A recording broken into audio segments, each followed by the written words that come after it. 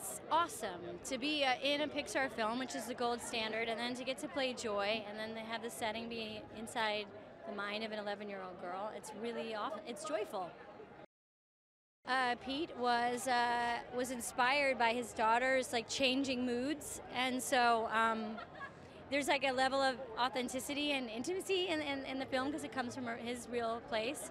But it's just kind of this universal study on what we feel and how we love and what we need, and then it's just also a very slapsticky workplace comedy. Yes, it, the, the, the message of the film is really that it's okay to be sad and that you know no one can be happy all the time. So it's uh, it's it's it's a lot of that juicy stuff, and, and, and it's a Pixar movie, so it's beautiful and it and it's showing us a world we've never seen, which is a world that we live in every day, which is our mind.